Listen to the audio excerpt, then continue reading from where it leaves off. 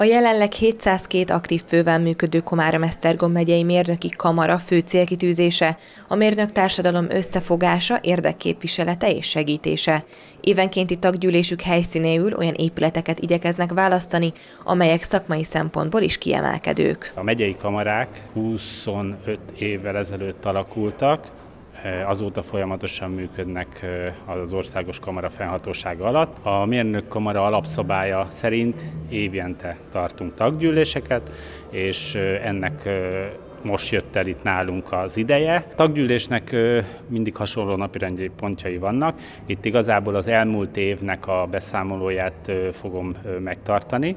Utána lesz egy a gazdálkodásról és a jövő évi jövő évi gazdálkodási tervről egy beszámoló, amit a titkárasszony fog megtartani.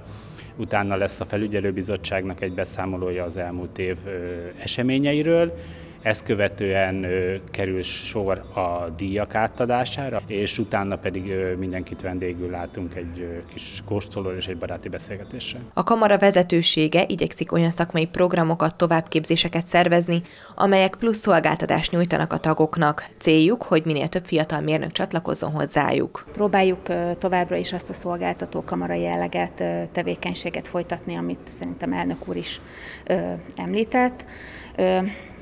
Alapvetően a kamarai szakmagyakorlási jogosultságoknak a névjegyzékének a vezetését, a jogosultságoknak az engedélyezését, azzal kapcsolatos feladatokat látjuk el. Rendelkezésre állunk teljes munkaidőbe a, a szakmagyakorlók előtt, és nem csak ő előttük, hanem a lakosság előtt is, hogyha esetleg ö, ö, mérnököt keresnek, építést keresnek, akkor abban tudunk segíteni nekik, ö, tudunk egy kicsit segíteni a, itt a jogszabályi rengetegben való eligazodásban, ö, ha valami nem is a mi hatáskörünk, de igyekszünk abban segítséget nyújtani, hogy, hogy hová tudnak esetleg tovább fordulni. A rendezvényen a tulipános ház megtekintésére is sor került egy szakmai tárlatvezetés keretében.